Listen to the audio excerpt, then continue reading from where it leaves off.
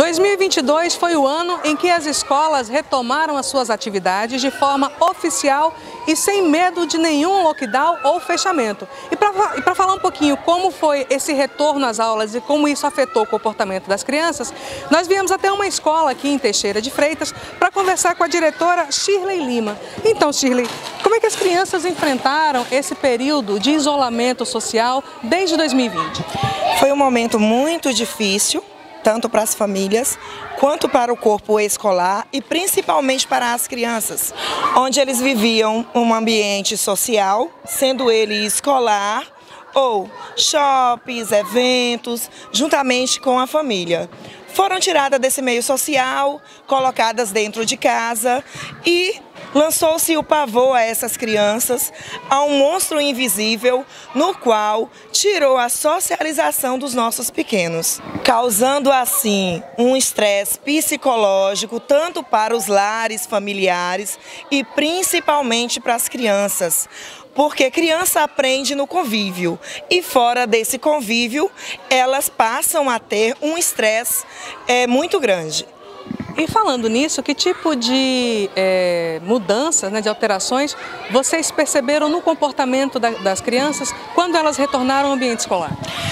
As crianças, quando retornaram para o ambiente escolar, que nós desde sempre trabalhamos com psicólogos dentro da escola, pôde-se observar que essas crianças retornaram muito estressadas, elas ansiosas, uma ansiedade que poderia se notar no corpo humano, crianças com dores de cabeça, febre, vômitos, diarreias, isso por conta do medo, do pavor, do retorno ao contato escolar e socializar tanto com crianças quanto com adultos. As pedagogas relatam que muitas crianças retornaram ao convívio escolar de forma mais agitada e apresentando alguma dificuldade de interação com os coleguinhas. O convívio social entre essas crianças foi muito difícil nos primeiros dias de aula tal, porque elas estavam presas né? dentro de casa, não tinham convívio com outros adultos e nem com outras crianças.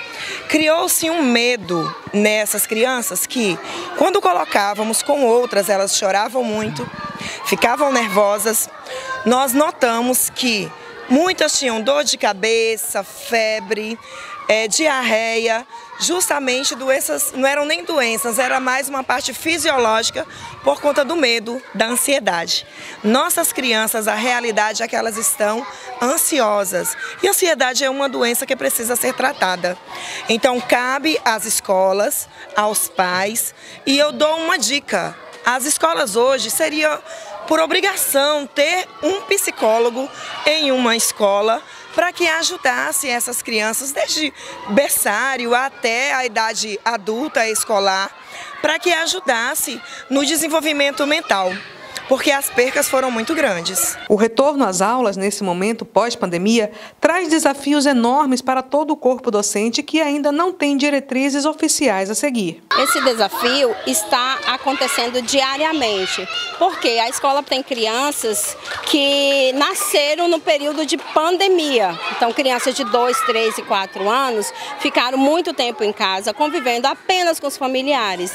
E esse retorno está sendo de adaptação muita audição no que as crianças falam, muita, muito olhar para o que elas estão demonstrando eh, fisiologicamente, eh, emocionalmente e socialmente. Esse enfrentamento está sendo encarado de uma forma mundial, como a sociedade mundial está eh, encarando, com novas adaptações, muitas socializações, muita atividade recreativa, para que ele venha aceitar o outro. E estamos aí aguardando novas perspectivas educacionais dos pesquisadores para nos profissionar um pouco mais, nos preparar mais para receber melhor as crianças. Gradativamente, vamos tentando entender quais os reflexos que ainda perduram vindos da terrível pandemia da Covid-19, torcendo para que num futuro próximo todos os danos sejam sanados,